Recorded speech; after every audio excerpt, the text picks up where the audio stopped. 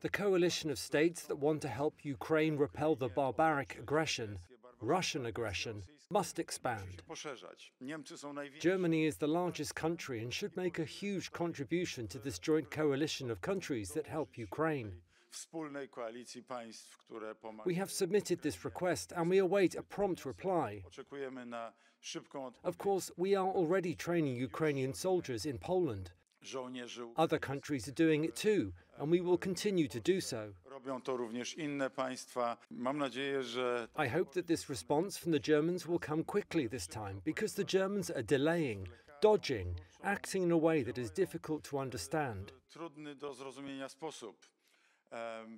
We can see very clearly that they do not want to help Ukraine defend itself in a wider way.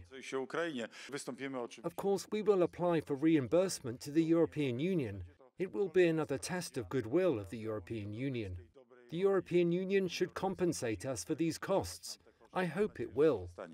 Szanowni Państwo, mm, mam nadzieję, że ta odpowiedź ze strony Niemców przyjdzie tym razem. I hope that this answer from the Germans will come quickly this time, because the Germans are delaying, being evasive, and acting in a way that is difficult to understand.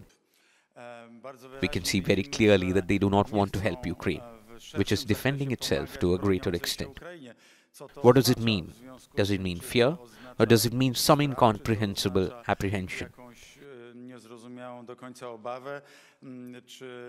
Or does it mean a belief that it is still possible to return to normal relations with Russia?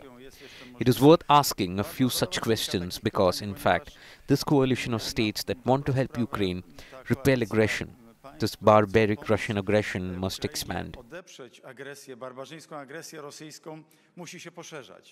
Germany is the largest country and should make a huge contribution to this joint coalition of countries that are helping Ukraine. We have submitted this request.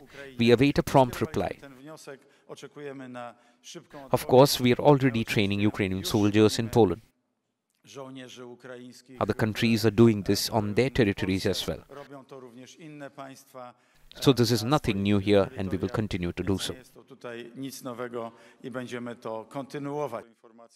Of course, we will apply for reimbursement to the European Union. It will be another test of goodwill of the European Union. The European Union should compensate should compensate us for these costs. I hope it will happen.